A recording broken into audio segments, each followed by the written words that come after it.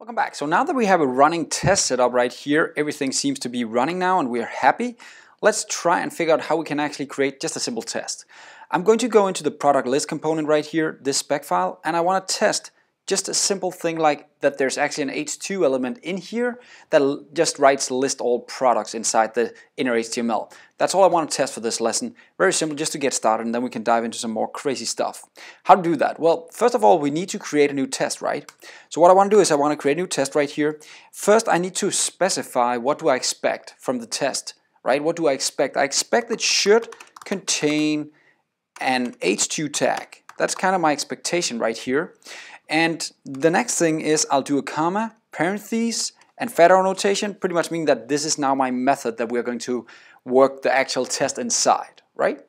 So what are we going to do next? Well, I need to kind of figure out how to get the tag. So I need to somehow get the tag from here so I can start testing on it and figure out if it actually contains the information that I need. So how can we get a tag? Well, if we go into Angular by class right here, we can actually use that guy to get the tag. So we can query elements like this. Let me try and zoom because I can see that is rather small. There we go. So we can start querying elements like this. We can call, I want to find an element by, and then I can put in some attribute that I want to use. For instance, an H2 attribute. Let's try and do this. How do we get the debug element? Well, we can say fixture dot debug element dot query and this is where we put in the by clause. So the by, there are several definitions. Very important you pick the right one here. You need to pick the one called Angular Platform Browser. Not Protractor, not Selenium, Angular Platform. There we go. That has a function called CSS. And here we can put in just the name of the actual tag we're looking for, in this case H2, and it'll only return the first one it finds on the page. So now we actually pretty much have a reference right here, not for the element itself, but for the debug element for this element. So let's just call it uh, H2 element. There we go. Now with this element, I can actually try and do my test now. Let's just get rid of this noise here.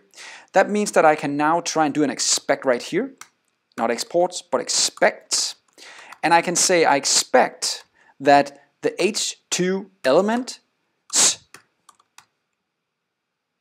native element, that means the actual H2 object.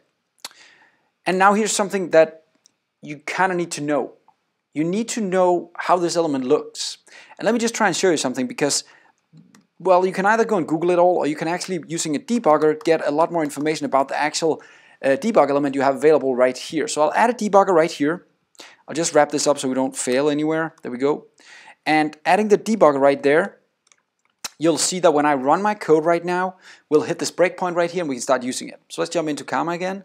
I'll open the developer tools and I'll just let that breakpoint be hit. There we go. I go into sources, and if I just zoom a little bit, zoom, zoom, zoom, zoom, zoom, and I do a refresh, and you'll see that we get into this breakpoint I just put in there.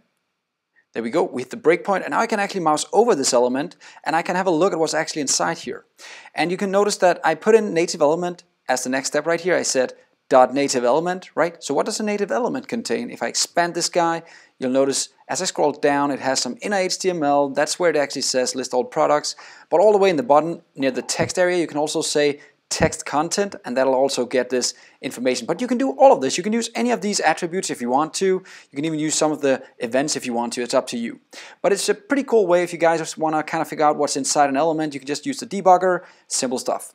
Let's just get rid of that again and actually use this now because we now know it's called text content, right? So again, again, if I mouse over, I go to the native element, and you'll notice down here it says text content, and that's the one I want to kind of go to. So text content there we go. Now I expect this text content to be, and then I need to put in right here what's inside that text content right now. So right now it's list all products. That's what inside that HTML tag. I'll put that in here inside my expected clause. Let's just move this again. There we go. I put that in here. There we go. Now this test should actually uh, pass, right? Let's just try and go back and just run this. Just get rid of the debugger. I don't want to stop there anymore. I'll let it run, and there we go. Now we have eight passing tests, and one of them is right here, should contain H2 tag. Perfect.